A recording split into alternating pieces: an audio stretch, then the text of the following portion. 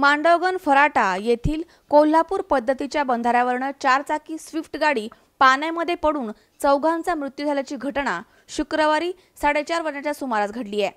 शिरूर तालुक्यातील मांडवगण फराटा ते कानगाव या दरम्यान असलेल्या कोल्हापुरी पद्धतीच्या बंधाऱ्यावरनं स्विफ्ट गाडी ही कानगावकडनं मांडवगण फराटा या दिशेनं येत होती.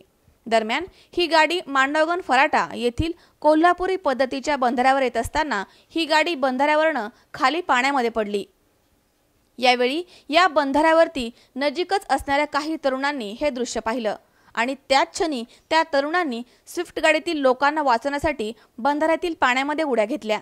परंतु या गाडीचे सर्वच दरवाजे लॉक असल्यामुळे आणि पाण्यामध्ये जलपर्णी असल्यामुळे त्यांना वाचवण्यासाठी केलेले प्रयत्न फोल ठरलेत. त्यानंतर या घटनेची वार्ता समजताच कोल्हापुरी पद्धतीच्या बंधाऱ्यावरती हजारोच्या संख्येने ग्रामस्थांनी मदत करण्यासाठी धाव घेतली आहे. परंतु स्विफ्ट गाडी ही कोल्हापुरी पद्धतीच्या बंधाऱ्याच्या एका कोपऱ्याला अडकली असल्यामुळे ग्रामस्थांना ती गाडी पाण्याबाहेर काढण्यासाठी मोठी कसरत करावी लागली आहे.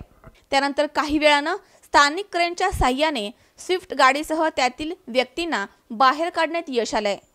या घटनेमध्ये आबासाहेब प्रल्हाद जठार नवनाथ हरिभाऊ पवार प्रतिभा नवनाथ पवार आणि नंदा दीपक गायकवाड यांचा जागीच मृत्यू झालाय.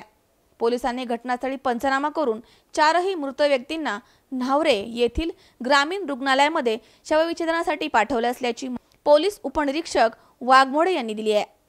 घटनास्थळी उपविभागीय पोलीस अधिकारी राजेंद्र मोरे शिरूर पोलीस स्टेशनचे पोलीस निरीक्षक दयानंद गावडे यवत पोलीस स्टेशनचे पोलीस निरीक्षक शशिकांत चव्हाण यांनी भेट दिली आहे. अरुण कुमार मोटे सी चोवीस तास शिरूर.